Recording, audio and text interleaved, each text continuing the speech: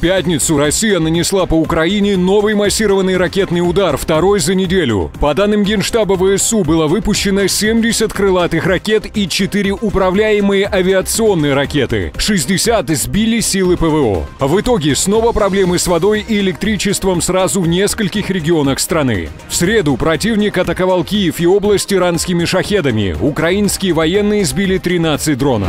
Оккупанты применили все виды вооружения во время атаки в пятницу, заявили в воздушных силах. Это ракеты и различные типы наземного, воздушного и морского базирования. А за день до удара россияне применили иранские дроны, чтобы прощупать украинскую ПВО, считают военные. В результате атаки 16 декабря были повреждены энергообъекты на востоке и на юге Украины, а также в Киеве. На Бахмутском направлении самая горячая точка на фронте. Украинские военные отбили Курдюмовку и Азаряновку, которые российская армия заняла в начале декабря, утверждает Генштаб ВСУ. При этом пропагандистские каналы пишут, что украинцы пойдут в контрнаступление на Бахмутском участке, чтобы оттеснить россиян на 10-15 километров от линии фронта. А сам Бахмут находится под плотным огнем артиллерии. ВСУ там ждут подкрепления.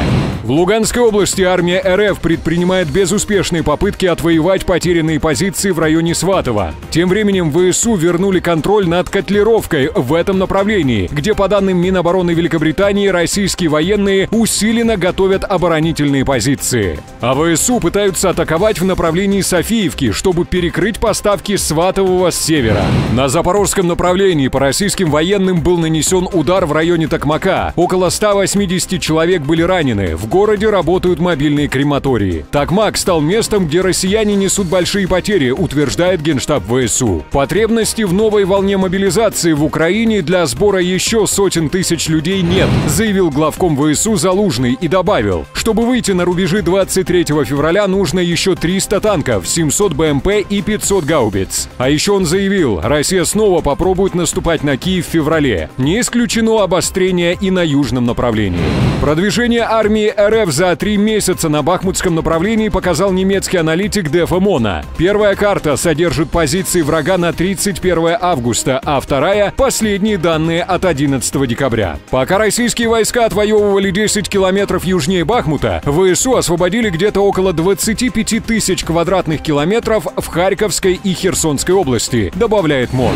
Украина освободила 54% территории, захваченной Россией с февраля, сообщили в Минобороны Британии. Сейчас РФ контролирует около 18% территории Украины, включая Донбасс и Крым. В оборонном ведомстве Британии считают, что Россия будет пытаться прорваться на Донбассе, но вряд ли что-то получится. В следующем пакете помощи от США будет больше возможностей противовоздушной обороны, сообщил представитель Пентагона. А издание «Политика» пишет, что США могут дать Украине новое оружие из-за возможной угрозы повторного наступления РФ. Кроме отправки «Патриот», возможны поставки боеприпасов для прямой наводки. Они позволяют превращать неуправляемые в умные авиабомбы, а также средства для ударов по целям на дальние расстояния. ЗРК «Сампти», известные как «Мамба», вскоре могут появиться в Украине. По данным СМИ, Париж и Рим приняли заявку Украины на поставку этой системы ПВО. «Сампти» — современная противоракетная система средней дальности, которая находится на вооружении Франции и Италии. По ряду характеристик «Мамба» превосходит американский «Патриот». Ракет вдвое больше. А еще системы могут вести огонь по целям в любых направлениях. Укроборонпром создал уникальный дрон «Камикадзе» с дальностью полета около тысячи километров и весом всего 75 килограммов. Он похож на иранский «Шахет», но с важным улучшением. Украинский БПЛА сможет атаковать цели несколько раз, заявили в Укроборонпроме. Американская компания Брикмания, которая делает модели для бренда Lego, собрала 220 тысяч долларов на помощь Украине для медиков и других героев передовой. Там сделали маленькие фигурки украинских солдат, военной техники и легендарного грузового самолета Ан-225 «Мрия», который российские военные разрушили во время обстрела в Гастомеле в самом начале войны. Это главные новости с фронта за неделю. Подпишись на канал, поставь лайки и комментарий под этим видео. Мы ценим обратную связь.